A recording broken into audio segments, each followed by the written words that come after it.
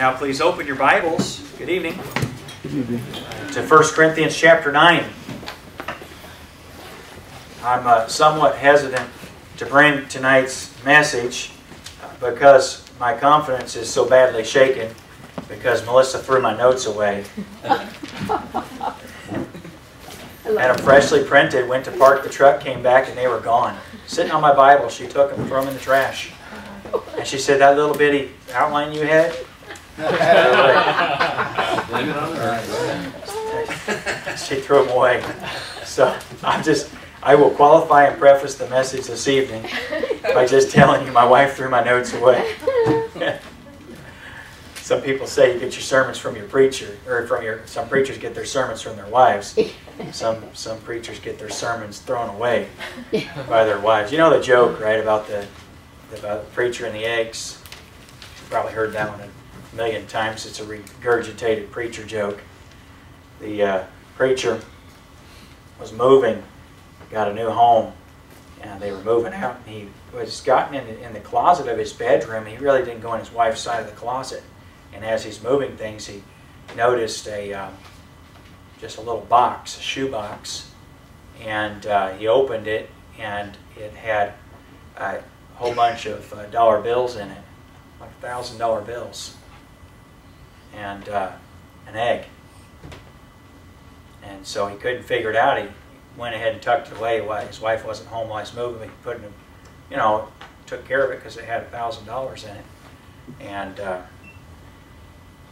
when he saw his wife the next time after he got done moving, he said, oh, by the way, said, when I was moving the things in your closet, I saw a shoebox with a thousand dollar, one dollar bills and an egg in it. And she said, oh, okay, thank you. And she just started to take it from him and put it away. And he said, what is it? What's the deal with that? What's the deal with the egg? And she said, oh, nothing. And he said, nothing what? And she said, well, I don't really want to say. And he said, well, you tell me anyway. And she said, well, years ago when you started preaching, she said, uh, whenever you preached a good sermon, know, I've always appreciated that. She said, every now and again you'd lay an egg. And so she said, I just put an egg in the box whenever you preach a sermon where you laid an egg. And uh, he said, wow. He said, after all these years, there's only one egg. She said, well, he said, well, what? She said, well, every time I got a dozen, I sold them for a dollar.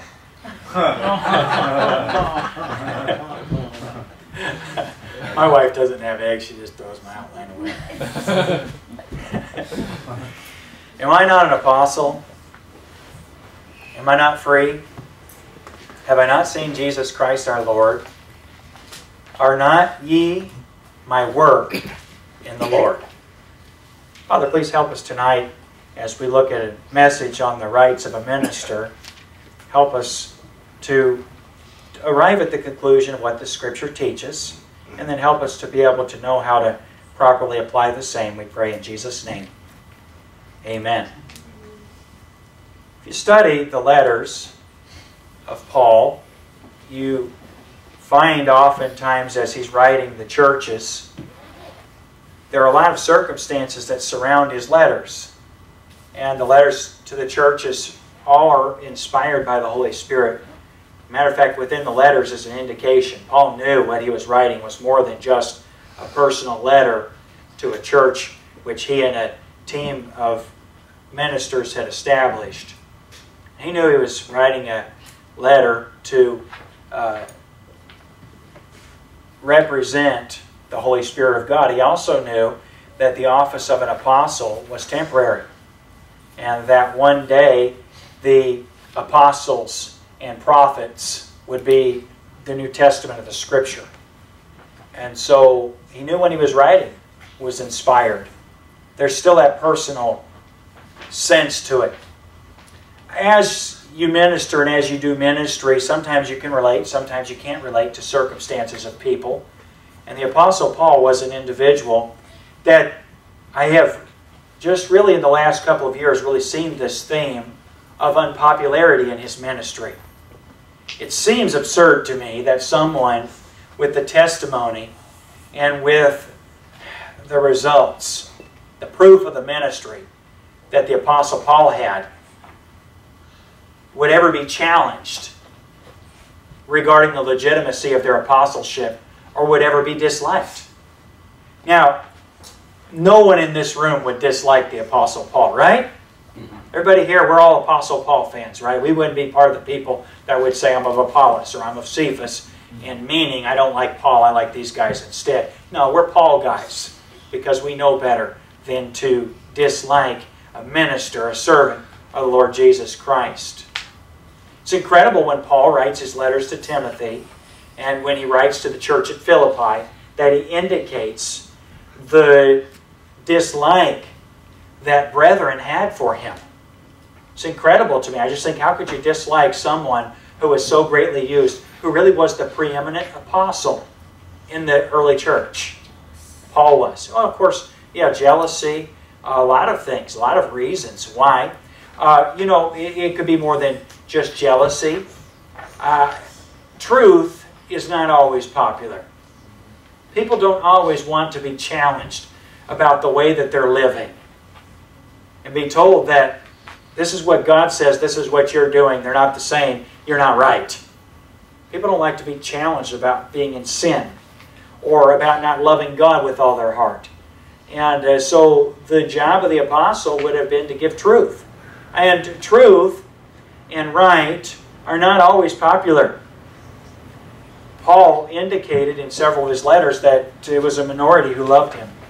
Well, here is in this part of 1 Corinthians, we're going to see uh, Paul's uh, rights as a minister. He's going to defend his rights as a minister to the church. Now, a couple of weeks ago, but when, we were in the uh, series on fornication, uh, we saw that the Apostle Paul, I'm sorry, well, I, you know what, I'm getting ahead of myself. Uh, first of all, this evening, I just want to stick with our text tonight. And uh, I want to look at Paul's qualifications, first of all, uh, to be an apostle. His qualification to be an apostle, because that's something he just defended over and again. In 1 Corinthians chapter 15, Paul defended his qualification to be an apostle. And we, so here we see in verse 1 of chapter 9, Paul said, Am I not an apostle? Am I not free? Have I not seen Jesus Christ our Lord? What is he referencing here? Well, he's saying, Am I not an apostle? Am I not free? He's speaking of qualifications for an apostle. Now you say, Pastor, this is rather dry, dull, and boring. You know, we know Paul was qualified to be an apostle. Well, that leads us then to the qualifications for being an apostle and asking us the question, then what about other people who claim to be apostles? Uh, dear people contact me sometimes and they say, I'm apostle so-and-so. And I'm left with the responsibility to say, no, you are not. No, you're not. You're not an apostle. Why? Well, because you have not been an eyewitness of the Lord Jesus. You ever see the church van? You know, uh, Holy Church of the Deliverance of the Firstborn, uh, Seed of David, King of the Jews, resurrected uh, and coming again. Church led by the Holy Apostle, uh, blah, blah, blah, blah, and the long name title for the Right Reverend Holy Apostle so and so. And uh, there are a lot of people that call themselves prophets today and call themselves apostles, and they're not. They are not. How do we know they're not? Well, uh, if you turn to Acts chapter 1 real quickly, I'd like to just look at uh, some of the qualifications for the apostle. Acts chapter 1, this is when Judas was being replaced. The, the apostles appointed Matthias to, to take his position. And let's debate this just a little bit did the apostles have the responsibility or right to replace Judas with Matthias? Because, you know, God replaced Judas, or God, uh, God appointed as an apostle out of due time the apostle Paul. So did the, uh, did the apostles get ahead of themselves? Did they appoint someone when it's Jesus that appoints apostles? Well, here's the answer to that question. You don't know, and I don't know. We know what they did. The scripture does not anywhere indicate. Yes, ma'am. Yes, there is scripture that says about. Uh, His bishopric must another man take. Yes. Yeah, that's in Psalms. That's quoted in Acts chapter one, and that's what the apostles. That's what the apostles were uh, concerned with fulfilling when they appointed Matthias as an apostle. And here's a simple answer to it. The answer is that you and I think there have to be 12 apostles. But there are more, and you could study how many apostles there actually there actually were, and there uh, and so forth. But the reality of it is, is God's Word doesn't say this is how many apostles that there have to be. We are simply told what uh, the believers, what the apostles did in the early church, and there's no commentary on it. There's no, this is right or this is wrong. No, there's just no commentary on it. But we are told the qualification for the apostle, and in the text that Mrs. Dollins is quoting here in Acts chapter 1, which quotes Psalm, go down to verse uh, 15. In those days, Peter stood up in the midst of the disciples and said, the number of the names together were about 120. So 120 disciples. Uh, Men and brethren, this scripture must needs have been fulfilled, which the Holy Ghost by the mouth of David spake before concerning Judas, which was guide to them that took Jesus. For he was numbered with us and had obtained part of this ministry. Now this man purchased a field with the reward of iniquity, and falling headlong, he burst asunder in the midst, and all his bowels gushed out. And let's stop here just for a minute. Now, the Lord Jesus had died on the cross. He had been buried and he had been raised from the dead. And at this point, at this stage, he had also ascended into heaven. It is fascinating to me and, and uh, just a matter of, I think, importance for us to note that the apostles took the matter of apostleship seriously. Why is that? Well, because their job was to establish the church. And if Judas had had a share in establishing the church, if he'd had a portion or a requirement in establishing the church, in their minds he needed to be replaced. See, a lot of times we don't think very much about the church. Uh, today, with the popularity of replacement theology, uh, replacement theology's always been popular, so perhaps I ought to qualify it by saying today but with replacement theology, where Israel has been replaced uh, with the church in many people's theology, there is a real admixture uh, between uh, the, chur the church and Israel.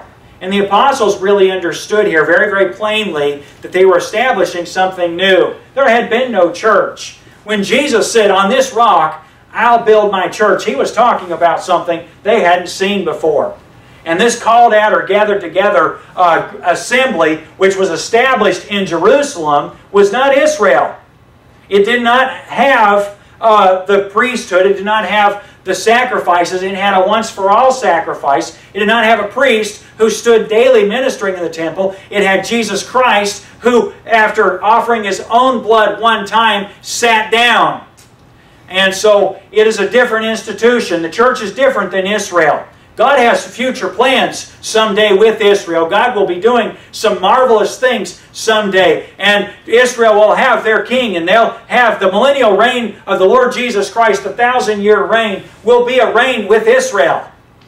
It's not the church. And so when we look at apostles, we need to understand that the apostles were foundational gifts to the church. And we see in the text that the apostles took the fulfillment of the prophecy which was, was necessary for the church very seriously. And so they, they quoted Psalms. They said uh, in verse, well, they're talking about uh, Judas and his death.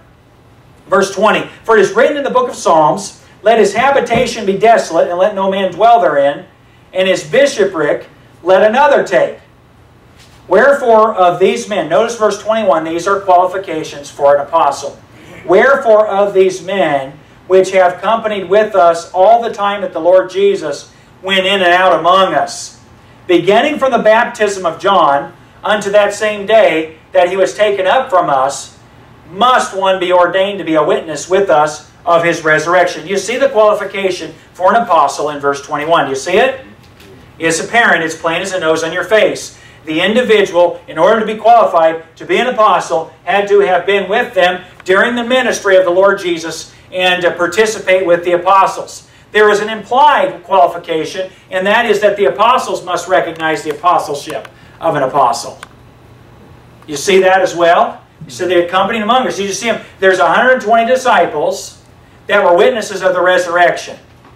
And so, uh, evidently, the apostles are saying, you know, these 120 that we're here with are uniquely qualified. They're uniquely qualified to choose out from among them an apostle. And then there are some more requirements for an apostle that were mentioned. Uh, in verse 22, beginning from the baptism of John unto that same day that he was taken up from us, must one be ordained to be a witness with us of his resurrection. And they appointed two, Joseph, called Barsabbas, and who was surnamed Justus, and Matthias, and they prayed and said, Thou, Lord, which knowest the hearts of all men, boy, I love that verse, show whether these two thou hast chosen, that he may take part of the ministry, this ministry and apostleship, from which Judas by transgression fell, that he might go to his own place. And they gave forth their lots, and the lot fell upon Matthias, and he was numbered with the eleven apostles. So who are the twelve apostles? Well, subtracting Judas, all the other ones, and Matthias. Okay, so then Paul. Because of this, Paul comes under a great deal of fire, doesn't he? Now, when Paul was first converted, uh, we know that he describes a, an experience that he had, uh, whether in the body or out of the body, said, I cannot tell, the Lord knoweth. But he was caught up to the third heaven, and he was taught by the Lord Jesus himself. We know Paul would have been an eyewitness, uh, certainly of John the Baptist. He would have been an eyewitness of Jesus from the time period of uh, the of excuse me from the time period of Je Jesus' baptism with the John the Baptist. Probably the Apostle Paul would have been among those Pharisees that came down to the river when Jesus was coming to be baptized of John the Baptist. And probably, now I'm speculating here, but I'm just saying probably, we know the apostles recognized Paul's qualification to be an apostle. Now, he certainly would not have been a believer at that time. He would have been an unbeliever, but he certainly also would have seen the Lord Jesus and probably saw when God spoke from heaven and said, This is my beloved Son, in whom I'm well pleased. Now, I'm not going to harp on that or spend a great deal of time on that this evening because I'd rather speak about what we do know more so than what we are speculating on. That is speculation. And I'll leave that for you, but I'm probably right about it. When we get to heaven, we'll ask the question. Because there are a lot of people who say, well, Paul was probably not there at the baptism of John the Baptist, so how's he qualified to be an apostle? Well, let me help you with something. The 11 men who are here in the presence of the 120 disciples thought Paul was qualified. And that seems to me, uh, it seems as though they understood the qualification. Is it not so? Luke, who wrote Acts, the Holy Spirit used Luke to pen Acts. He wrote this and he also wrote about the ministry of Paul and recognized Paul as an apostle. So Luke wasn't confused about the qualifications for apostles either. And so I don't think we are speculating very much to simply say the apostles were satisfied and so then who am I? In other words, they were very careful in selecting Matthias. And they would not have been less careful in acknowledging Paul, whom the Lord Jesus selected. And so I just think that's a, that's a help. That's just free. It's for you, and we want you to have it, to quote Dr. McClure. All right. Now, uh, let's go back to 1 Corinthians chapter 9. You can see how, uh, how uh, elaborate my short outline, it's not even worth keeping, is from all the information that's uh, unrecognizable in it. Uh, poor Melissa. You know I'm teasing her. She knows I'm teasing you. I hope you do too. One thing about her is she has a great sense of humor. Another thing about her, she'll get me back. All right. Verse 1.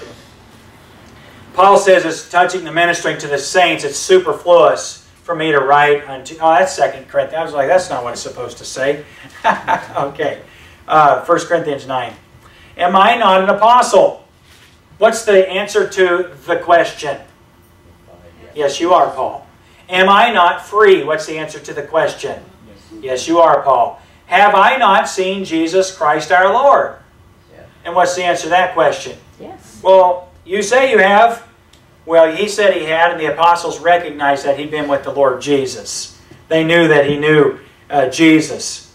Okay, so he'd seen Jesus Christ our Lord. Let's go to 1 Corinthians chapter 15. And uh, let's just look at uh, verse 7 and 8 and 9. This is Paul talking about the gospel, which is that Jesus Christ died, was buried, and rose again. And then he goes on to, to talk about his apostleship or his call to be an apostle as well. So,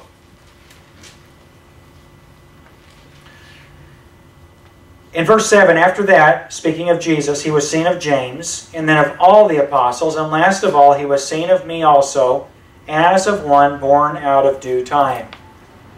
And then he goes on to say, For I am the least of the apostles, that am not meet to be called an apostle, because I persecuted the church of God.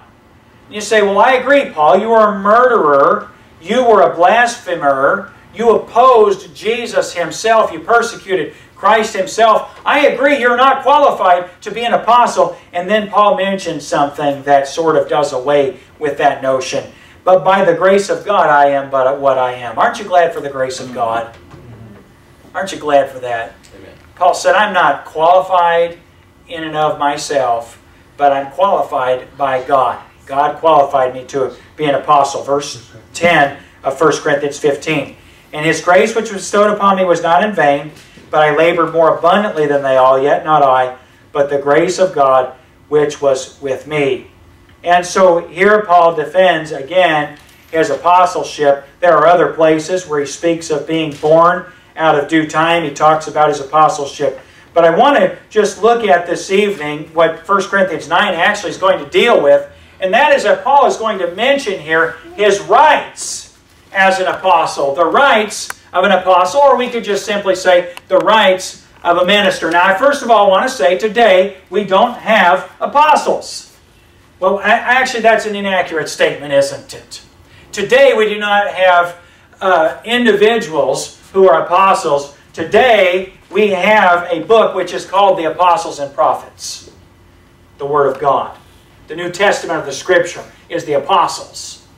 And so everything the Holy Spirit wanted us to have from the apostles, we have in this book. Now, people uh, will say, Well, I'm a prophet. You know, my response to most prophets is, and again, you know, sometimes I may seem, seem surly or, uh, or uh, to be rather abrupt in the way I answer things, but I want to be direct sometimes just so people don't under, misunderstand the facts uh, for the, you know, sometimes politeness misses the point. Sometimes when you're too polite about something, you miss the point. And when someone tells me they're an apostle or they're, they're a prophet, my first thought is, I don't need you. Somebody tells me they're an apostle, what they're implying is that the Word of God is not enough. That's what they're implying. I have a truth for you. I have a message for you. I have a commandment for you. To which I say, I've got enough of those. The ones I have are sufficient.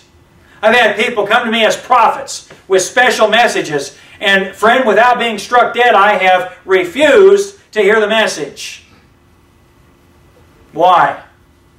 Well, because when someone claims to have something more than what the Word of God says, then my friend, I don't want to I don't want to hear it. When somebody wants to contradict what the Word of God says. The last couple of verses in Revelation tell us about the curses that are to be added to a person who takes away from the words of this prophecy or that adds to the words of this prophecy. Amen. And I don't have any use for it. I don't want it. I don't want to be part of your curse. We need prophecy. Now, the Holy Spirit's shown you something, and you have the Word of God to corroborate it. Corroboration's the word of the week. And it's a fine word for us, folks, isn't it? When it comes to this is what the Scripture says, and this is the message from God. You show me the Scripture says it, my friend, then it's for me. But we have the apostles today. We don't need more apostles. We don't need new witnesses. We have the witness of the Scripture. And you, as a believer, ought to formally reject an individual who labels themselves an apostle. Now, uh, an apostle also, of course, had a burden of proof. We'll see that in our text this evening. Paul mentioned uh, that their work, oh, look at this word, corroborating. There needs to be a work corroborating uh, the apostle. Much like a prophet, the work of an apostle was a commendation. In other words, you know what a commendation is? It's, it's when you are commended to someone or something, it is a presentation. Paul said in verse 1 one of the evidences that he was a legitimate apostle, as opposed to individuals which would say they are apostles and are not, was that they were his work in the Lord. An individual, hear me now, this is, this is an important distinction. An individual who would be, or would have been an apostle in Paul's time, would have, would have won followers to the Lord Jesus Christ, not to himself. A legitimate apostle would have gained followers for the Lord Jesus Christ, and that's precisely what happened at Corinth. Were the first individuals uh, to be born again at Corinth? Crispus. Crispus. Remember Crispus? When God did the great work there? the leader of his synagogue? The Jews. And that was a miracle, wasn't it? At that point, Paul had come to the place when he went to, to Corinth, he'd come to the place of saying, I'm done preaching to Jews. I'm done with them. They mock, they scorn, they scoff, they reject. They're hard hearted. They oppose themselves. They oppose the gospel. I'm finished with the Jews. And his next convert was the leader of a synagogue. there was quite a work done in Corinth. It was the first place that the Apostle Paul had a ministry for more than a week or two. He was actually able to stay there almost a couple of years and have a peaceful hiatus in his ministry. And so Paul is saying to a church which is now questioning his apostleship, You're the proof of my apostleship. Now, uh, earlier when I referenced uh, 1 Corinthians uh, and chapter 6, or chapter 5 is what I intended uh, to, to reference. I believe it's chapter 5, where Paul talks about uh, how they have, no, I'm sorry, chapter 4, verse 15. Though you have 10,000 instructors in Christ, Yet have ye not many followers, fathers, I'm sorry. For in Christ Jesus I have begotten you through the gospel. That is a strong evidence in Paul's statement in 1 Corinthians 4 and verse 15, which supports what he says in 1 Corinthians 9 and verse 1. You're my work in the Lord. He said, I have begotten you in the gospel. A mark of an apostle is that they preach the gospel mark of an apostle is that they preach the gospel. You know, today most individuals that want the title, they want they wear the label. They have other marks. Instead of creating followers for the Lord Jesus Christ, they create followers unto themselves. That's their first mark. Secondarily, instead of preaching the gospel of Jesus Christ, they usually preach another gospel. They normally preach another gospel whether it is signs and tongues and healing, whether it is the health and wealth and prosperity gospel, whether it is, and that normally is the present day apostles' gospel, whether it is the signs and wonders, all the things which promote themselves and also expose themselves as charlatans rather than actual apostles. And so it's important for us as believers. You say, Pastor, you don't sound very nice. I know. It's a generational tendency. And uh, you need to be very, very gracious and forgiving to me for being very, very abrupt and uh, very, very uh, forthright about what I say. I just can't help it. I wasn't privileged to be a millennial. And so, uh, you know, I just, I ought to be, I ought to be arbitrarily forgiven uh, for my personality. Okay, so moving forward uh, this evening, and the only way I know how to communicate sometimes. The Apostle Paul then mentions, and this really is more to the point of what he's getting to in the text, his right to partake in the privilege of a ministry. And of course, he references the, the law, which really showed God's mercy toward animals or beasts. Verse 8, verse uh, 7, he begins by saying, Who goeth a warfare any time at his own charges who planteth the vineyard, and eateth not the fruit thereof, or who feedeth the flock, and eateth not of the milk of the flock. It's a cruel thing to have an individual labor at something from which they cannot reap a reward. It's a cruel thing. Uh, I, I don't want to go too far with this, but I think it's just fine for restaurant workers to get free food. I just think it's fine. You say, well, Pastor, they get paid and that could be a substitute for their free food. But, uh, you know, I just don't have a problem with, hey, part of the job is you get free food. Because it sort of has a principle that's reflected in the benevolent nature of our God. Who the text points out was, is more concerned about humans than he is beasts. A couple of times in the Bible, we're told that Jesus is more concerned with individuals who are made in his image than he is with animals. Remember in uh, Matthew chapter 6, for instance, when Jesus is talking about not taking thought and being concerned for the morrow, and he talks about how that the lilies of the field God cares about. He cares about the sparrows. And shall he not, not much more care for you, O ye of little faith? God cares more about you than he does about sparrows. But in the Old Testament law, there's a provision that when you put a, an oxen, and usually they would, I think, usually put them on a like just a circular uh, pattern, or just just a, you know, you've seen these things that you know that you just go round and round and round on like a mill. And what they would do would be put the grain on the on the ground in the husk, and as the oxen would go around and around, you know, as he stepped on the corn, he would tread it out. And so pretty soon you just get chaff, and then you could winnow it, and the chaff would blow away. And as the oxen would be going along, he'd dip his head and without stopping, lick the floor with his tongue, and he'd get some grain. And sometimes the person who was driving the oxen would forbid it. You know, they wouldn't let the oxen, you stay here, you dirty, dirty oxen, quit eating the corn. You know, and uh, God was very merciful toward oxen. And just say, you know, it's cruel to have him uh, participating in the labor of reaping the corn and then not be able to participate in the reward of it. And if God is so concerned about oxen, He's also concerned with people. You better not be a skinflint and a miser and try to represent the Lord Jesus, my friend. I'm serious. God doesn't like skinflints, doesn't like miserly people, individuals who uh, want to just squeeze the blood out of a turnip and uh, then uh, cast away the turnip. And God is God loves generous people. And if anyone in the world ought to be benevolent and generous, it is ought to be people who know a benevolent and generous God. And so it's just an important part of the law. And so here now Paul is talking to a church, get this, to a church which is begrudging him being taken care of by them. In other words, they're saying, why should we have to support Paul?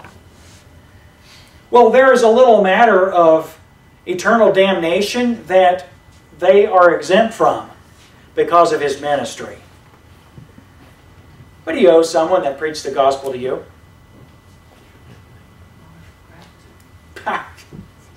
what do you want? Right? I mean, is Paul asking, you know, give me your own lives, give me all your give me all your money, give me everything.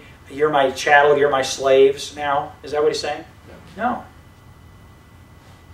Tragically, though, he's having to defend his ministry. Say, you know, something, you're, you have eternal life because the Lord used me as an apostle in your midst, in your church. And I want to take care of him. I want to support him. You're saying, who does he think he is? Expecting us to pay for him. You know, who's he, who does he think he is? Well, let me ask you a question. How, how effective could Paul be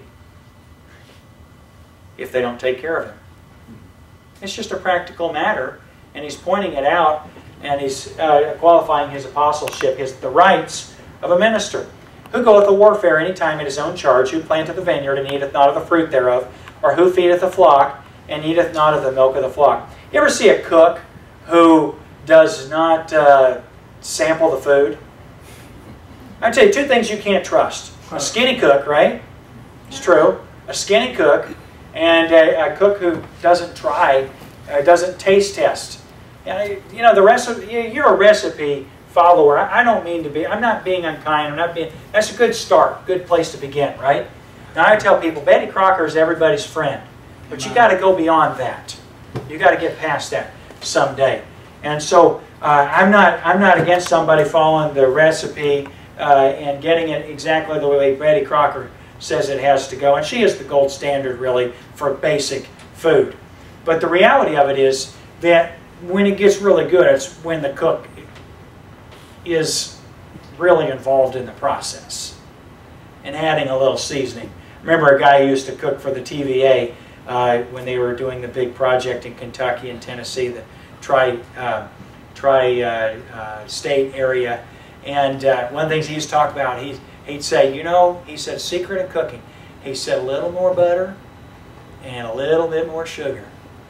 And he said, you know, he said, any, he said, you can take a cake recipe, and he said, it'll be all right. He said, but you add a little butter, and you add a little more sugar. And he said, it'll be a little better. And, uh, you know, I appreciate a guy like that. And, uh, you know, a real cook tastes. They participate in what they cook, don't they? They try it just a little bit. Now, they don't put the spoon back in after they sample it. They put the spoon in the sink and they get another one. They use good hygienic methods. Well, they should, okay? Uh, so, uh, a couple rules. But a, a, real cook tries what they're serving, right? You know, there's been some real tragedies when a cook presents something, you know, that looks really good and then they find out, uh oh, something's missing or something's added or something's replaced. And uh, if I tasted it ahead of time, I'd know, but I didn't sample it. And so, oh no, we're in trouble. All right, well, that's the idea. You plant a vineyard, you test it. You, you cook something, you taste it. Now, Paul said this Say I these things as a man. And they're like, yeah, Paul, you know, you just, you know, this, this is just an argument that you're making because it's good for you. No, he said, or saith not the law the same also, for it's written in the law of Moses, Thou shalt not muzzle the, ox, the mouth of the ox that treadeth out the corn. Doth God take care of the oxen? What's the answer to that question? Yes.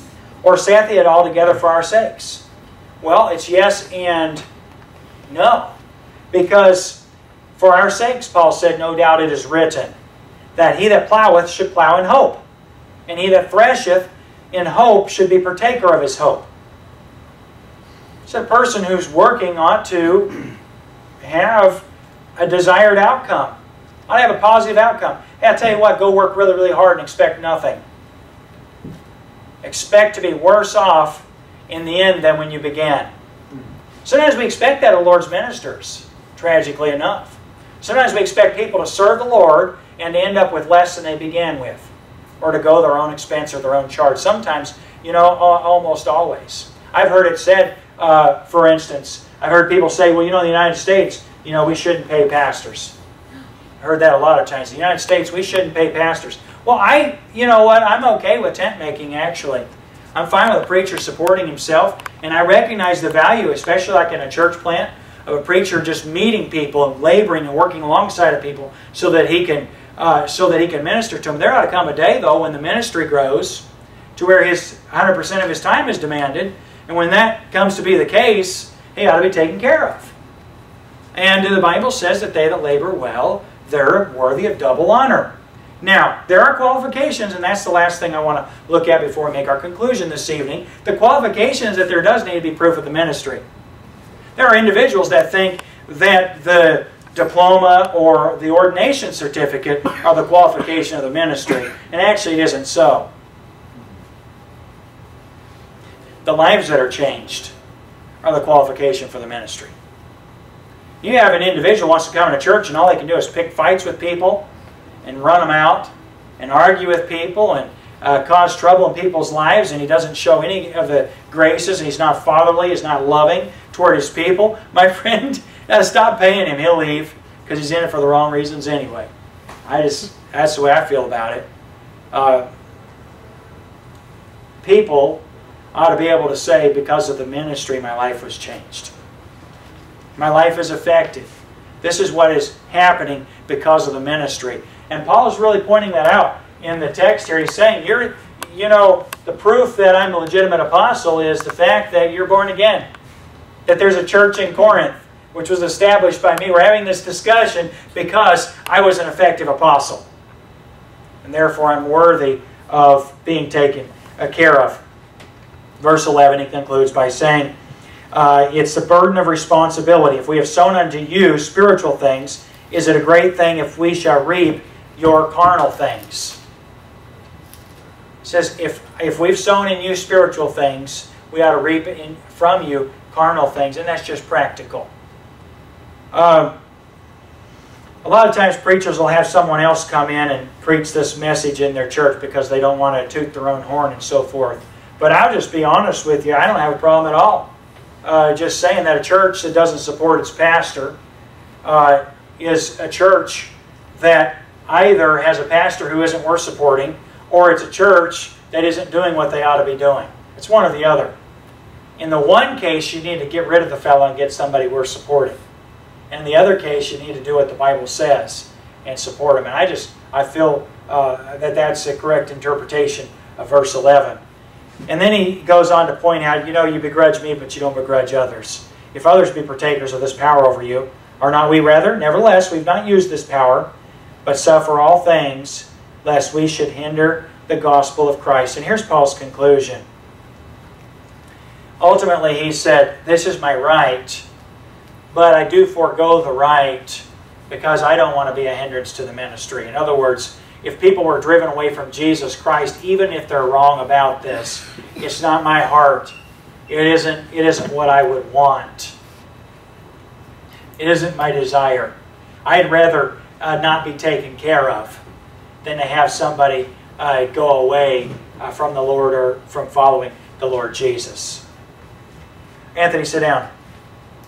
In verse uh, 13, do you not know that they which minister about holy things live of the things in the temple? And they which wait at the altar are partakers at the altar. Even so hath the Lord ordained that they which preach the gospel should live of the gospel. And again, his qualification, but I have used none of these things. Neither have I written these things that should be done, so done unto me. For it would be better for me to die than that any man should make my glory void. Paul said, ultimately, he said, I don't want to owe you anything. I want to be beholden only to God. To God be the glory. And that's his conclusion. He goes on to, uh, to qualify it some more. But ultimately, ultimately, his reason and uh, in other churches, Paul actually apologizes and said, you know what, I've wronged you by not requiring you to support me as a minister. Friend, that's important for us. See, Paul's concern here, and I love the tone in which he ends this topic. He ends the tone of, with the topic by finally saying, This is my right, I'll defend my right, and I'll also forego my right because ultimately I just want to serve the Lord Jesus and don't want to be a hindrance to Him. And then that leaves it in the laps of the church. Let me ask you a question. If you have a minister or a servant of God, we have a missionary that comes and preaches to us and God uses him. He's serving the Lord in other places and representing us. What kind of people are we if we don't take care of him? I've had, I've had a lot of evangelists come and say, Pastor, I want to come and I don't want anything from your church. I appreciate the spirit. That's exactly what Paul said. But I'll tell you what I don't want to be is the kind of church that'll use a preacher and not pay him. I want to be people. I, I tell people I appreciate your heart in that, you know, and, and some guys perhaps mean it more than others. But the reality of it is, is that if there's going to be somebody taking advantage of somebody, I'd rather the preacher took advantage of me than I took advantage of him. Because I don't have to deal with his conscience, I have to deal with mine. And here Paul just rests in the laps of the conscience of the church at Corinth. And that's what we do here this evening as well. We as believers ought to take care of God's ministers, God's servants. We're going to have the Duke family uh, with us for about 20-something days. Uh, here beginning in early November and then sometime in December, the end of November and December as well. And you know something? They're going to have to spend some money to come here. They're going to have to spend about $600 for lodging, which is pretty good for 20 days and uh, they're going to have to spend travel and they're going to have needs while they're here. You know, as a church, we have to take care of them. Have to take care of them, shouldn't we? We've got folks that are helping minister in Miami Beach and they're kind of going at their own charge. But I'll tell you, if they have needs, we have to take care of them. And, uh, you know, if we get a pastor in Miami Beach, you know, one of the best things that church can do is take care of him, support him, encourage him, so he can take care of the spiritual things and they take care of the carnal things. And, you know, as a church, we ought to have a good balance of that as well. I have found, as a pastor, I'm just sharing my heart a little bit, I found that sometimes I'm hindered because the carnal things require too much of me. And so I'm not able to take care of the spiritual things. Mm -hmm. And there's a lot, oftentimes a conflict in that. Mm -hmm. And we as a church, we ought to say, you know what, we need to make, make sure, make sure that both are in balance. And so there's the word from the Lord for you. And I know it's a terrible message because my wife threw away the notes. But, uh, you know, it was Paul's really, not mine. So go ahead and give him the hard time for it. Father, thank you so much for using your servant, the Apostle Paul, to really bear his soul in this way and to minister to us. And I just pray that you would help us to be able to apply it practically. I pray in Jesus' name. Amen. All right, we're going to take prayer requests. You need to get up, you can now. Yes, Sophia?